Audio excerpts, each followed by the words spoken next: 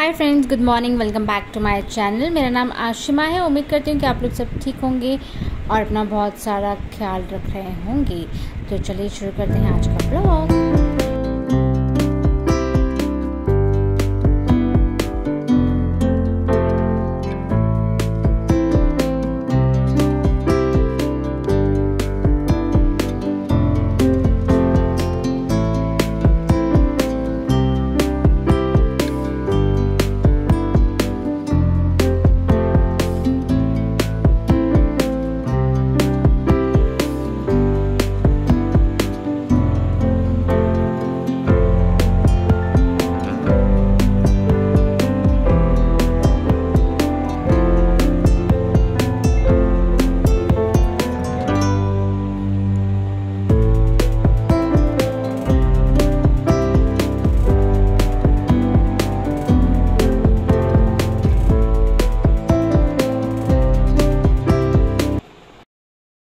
भगवान के मंदिर में जो फूल हम चढ़ाते हैं, वो सूख जाते हैं तो हम उन्हें अक्सर फेंक देते हैं या पानी में बहा देते हैं, नदी में डाल देते हैं।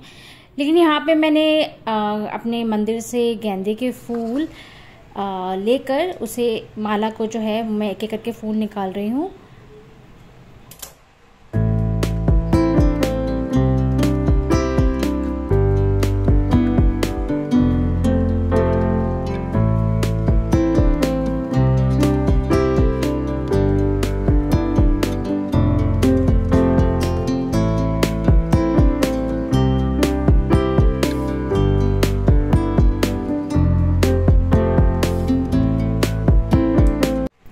एक एक करके जो फूल मैंने कटोरी में डाल दिए हैं, इनको मैं अच्छी तरह से आर के वाटर से वॉश कर लूँगी, ताकि इसमें अगर ऊपर कोई मिट्टी विट्टी है तो वो आसानी से निकल जाए और ग्राइंडर में डालने से पहले फूल जो हैं वो बिल्कुल साफ़ सुथरे हो जाए।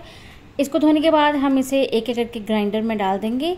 इसके पीछे की जो हरे रंग की डंडी होती है, उसे नहीं डालना है हमने, सिर्फ़ फूल के फूल के रेशों को डालना है। ये देखिए, इस तरह से फूल के रेशों को डालना है। जो पीछे की हरी डंडी है, उसको हम इस्तेमाल नहीं करेंगे यहाँ पे।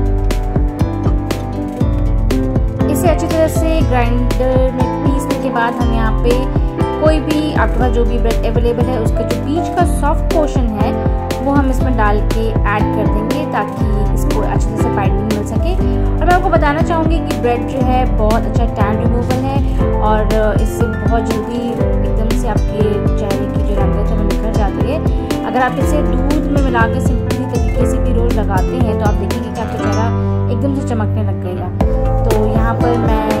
ब्रेड डालने के बाद तीन चम्मच दूध के डाल हूँ। मेरे पास फुल दूध था तो मैंने वो डाल दिया। आप चाहे तो टोन, भैंस का, गाय का, कोई भी डाल सकते हैं। लेकिन आपने इसमें मलाई नहीं डाली, इस बात का आप ध्यान रखिए अब इसको डालकर हम अच्छी तरह से मैश करेंगे। इतना मैश करेंगे कि ये एक साथ हो जाए। जो गेंदे के फूल हैं, वो वाला मिश्रण ब्रेड और दूध जो है, वो एक जैसा हो जाए।